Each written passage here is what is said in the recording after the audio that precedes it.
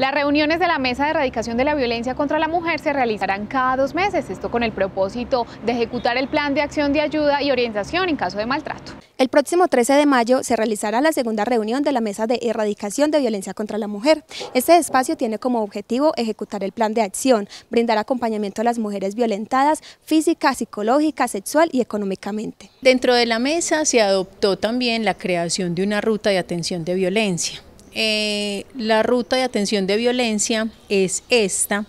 que mostramos acá, donde nos enseñan y nos dicen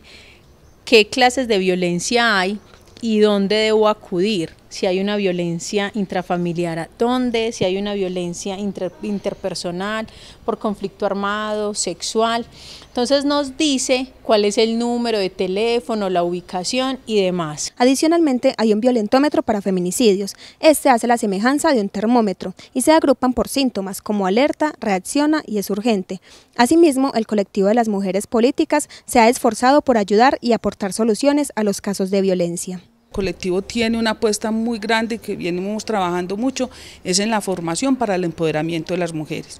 Parte de ir cerrando, de ir mermando la violencia intrafamiliar es el amor propio de las mujeres y ese amor parte también de su formación, de entender la importancia de ella en el mundo, en la sociedad y en su familia. Entonces ese trabajo que hacemos las mujeres del colectivo ayuda a que las mujeres entiendan ese lugar y ayuden, se ayuden ellas también a su autocuidado, es decir, a protegerse ellas, a acudir a las rutas, a denunciar, entonces es hacer esa conciencia de que ellas no están solas, de que tienen de que el municipio tiene eh, esta mesa y tiene todas las entidades que están también para, para protegerlas, para orientarlas. La mesa de erradicación de violencia está conformada por diferentes fuerzas vivas del municipio está la primera dama y gestora social, está la Secretaría de Educación, está la Secretaría de Salud, está la Secretaría de Gobierno, está la Iglesia, están las inspecciones de policía, las inspecciones de la Comisaría de Familia,